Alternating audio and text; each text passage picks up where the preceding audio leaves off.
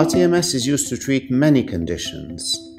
RTMS works where drugs fail and work as well as a replacement to drugs, whereby if people don't want to have drugs or cannot have drugs for whatever reason, whether they're pregnant, uh, breastfeeding, uh, they have allergies to drugs, they can't tolerate side effects, RTMS comes in very useful.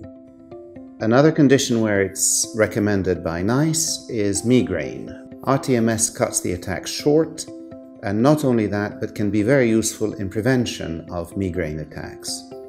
Other conditions where RTMS is very useful are things like stroke rehabilitation. Parkinson's disease, also you get improvement in gait, movement, fluidity of movement.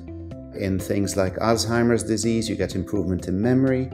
In chronic schizophrenia, you get improvement in memory. In pain syndromes, it reduces pain perception. In fibromyalgia, in chronic fatigue syndrome, they found that it improves uh, quality of life and pain parameters regardless of the improvement of mood.